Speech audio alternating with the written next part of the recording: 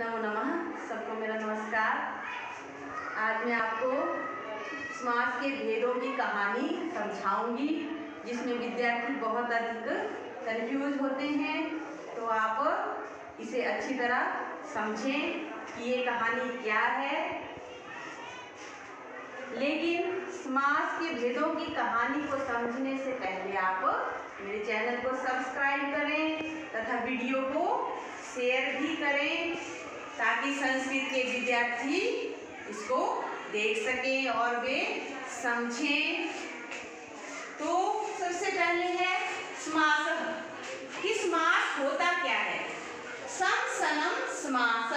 सम धातु से समास शब्द की उत्पत्ति हुई है। सम का